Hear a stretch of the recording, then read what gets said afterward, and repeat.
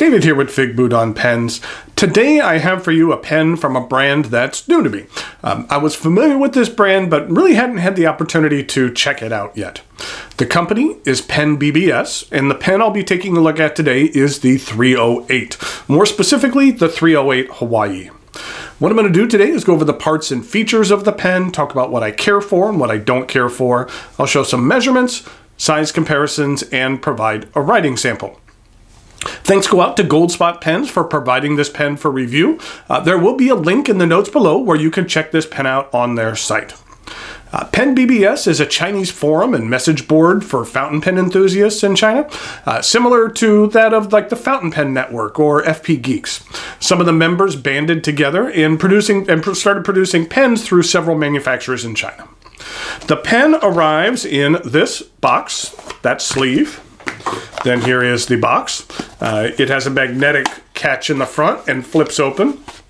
And inside, uh, there was a kimono sleeve that was included, which is nice. Um, since these pens are made from multiple manufacturers, there could be a variance sometimes in actually what you receive. So, for example, you may or may not receive a sleeve with your pen, uh, no matter who you order it from. And then here is the pen. This is the Pen BBS 308. Now, Pen BBS produces limited batches of each style and they rotate through varieties. So if you could find one that you care for, just know that its uh, availability might be limited or non-existent at a later date. Uh, this model is called the Hawaii for its rather tropical look. Um, it's from made from turned acrylic uh, and has a classic cigar shape. Um, in order to create this icy look, uh, acrylic chips are actually suspended in resin. Uh, the material has some life to it, and at each angle, it will have a unique look, so it's nice. Let's take a look at the end of the cap. Uh, it's rounded and smooth. The clip is all one piece and it does function well. And while it's not particularly fancy, uh, I feel it matches the aesthetics of the rest of the pen. And I also feel that the silver colored trim is a good choice for this pen. Uh, I feel it matches the material better than if it was gold colored trim.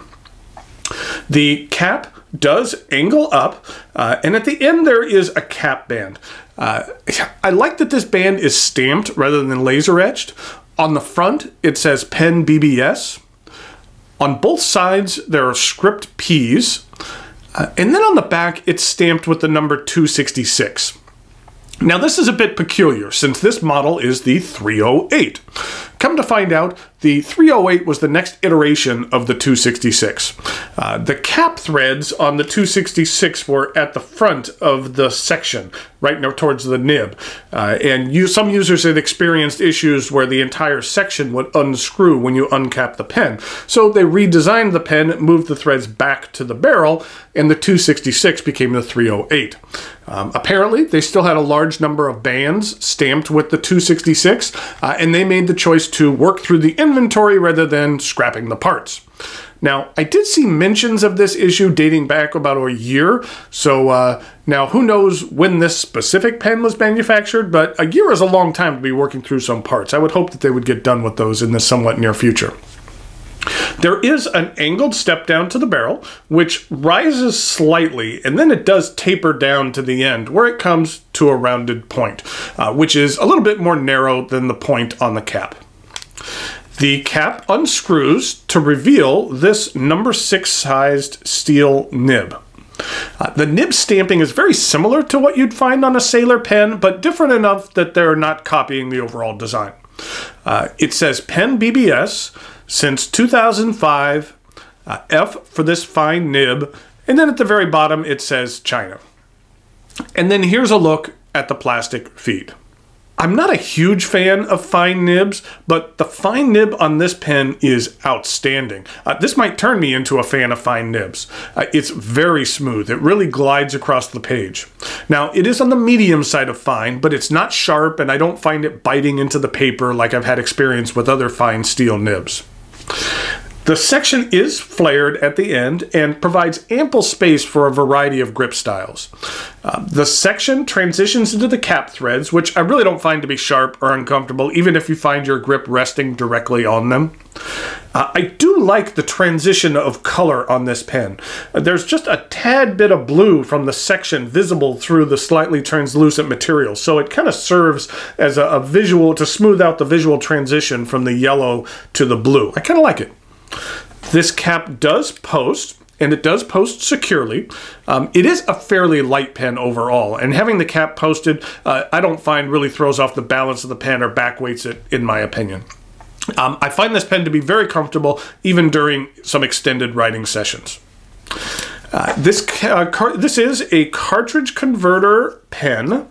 Uh, now, this model from Goldspot came with a converter. Uh, this pen could be used uh, with one of two styles of converter.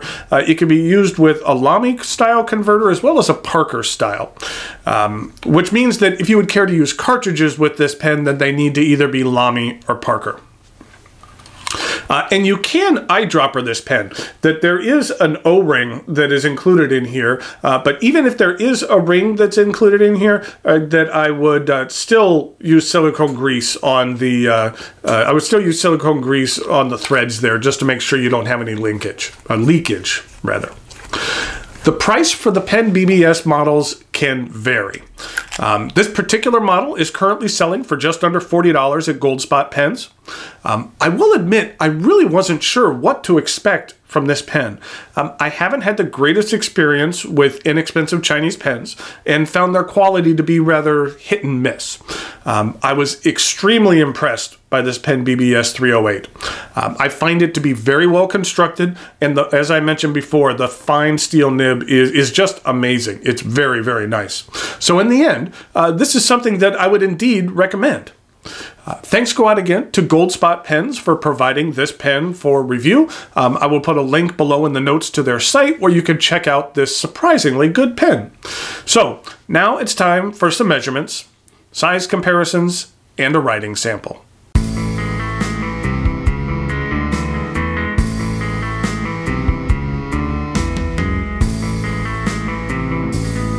Here we go with some size comparisons for the Pen BBS 308. Here it is with a Faber-Castell loom. Uh, here it is with a TWSBI Diamond 580. And here it is with a Pilot Kakuno.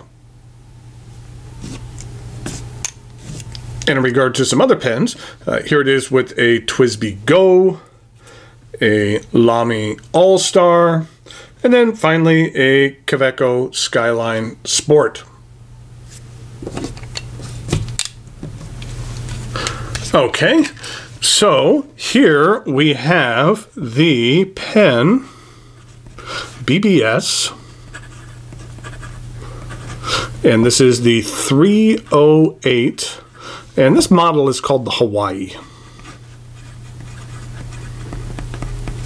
And this is a fine steel nib. Uh, and in regard to an ink, what we're using is Pilot, Iroshizuku,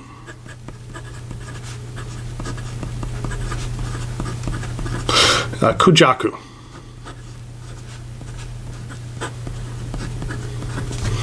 Uh, this is what the ink looks like. Uh, it's kind of a blue-green. I don't have a ton of blue-green inks. Uh, there is Akkerman Blau Grauen, uh, and then uh, we have something like Colorverse Photon, which is a little more green than blue-green, but it's at least in the uh, somewhat in the neighborhood.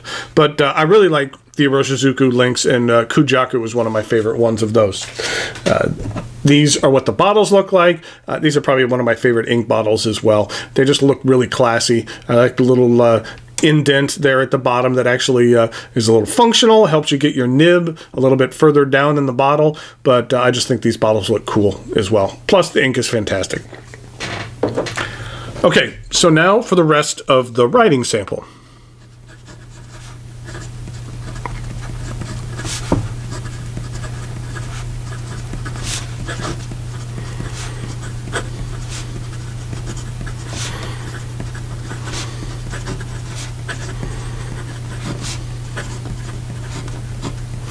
Uh, as I mentioned in the review, uh, this fine nib is outstanding. I'm very impressed with it.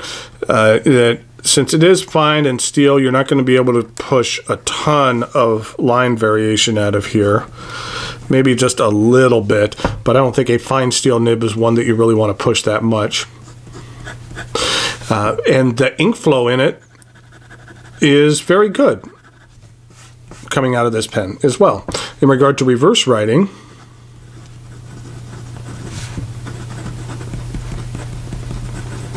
I'd say the ink flow isn't quite as strong there, but uh, as I mentioned in the review, that this just might turn me on to some more um, higher quality fine nibs because this one really is that outstanding. And in regard to some fast writing,